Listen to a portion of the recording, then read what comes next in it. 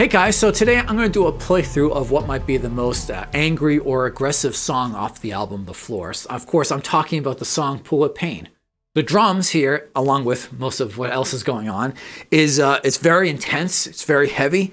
Um, I'm I'm really hitting hard on this one. I have some sections where I'm doing tom work and I'm really like really slamming them. Uh, the beginning of the song, actually, where the toms come in, I start doing this thing where I'm kind of like building building things up a lot, and then I start really smack, you know, really playing in hard on the toms. Then I come back actually with the a, a different version of uh, a, a, kind of a, a jungle groove or a, a tom based beat later on the song. And i actually i'm going to demo for you that right now. And i for this this is actually i always enjoy doing tom work.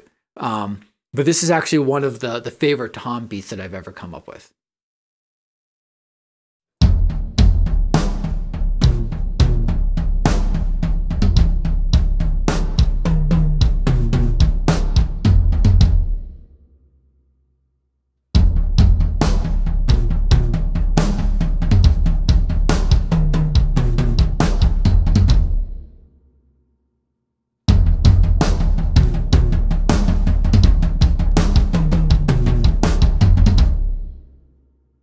Just one other thing I wanted to note. So, like I said, the song is pretty intense most of the way through, but at the start of the song, I'm spending a lot of time kind of building up that intensity. The very first thing that I'm doing is actually cymbal rolls. And personally, I never really liked using sticks for cymbal rolls, so I'm using mallets. Um, I just feel it gives it a much smoother sound when you use mallets instead of sticks. So if you haven't worked with mallets before and you want to know more, um, see the description below. I have a little crash course that kind of goes through this in more detail. And so now, without further ado, here is Pool of Pain.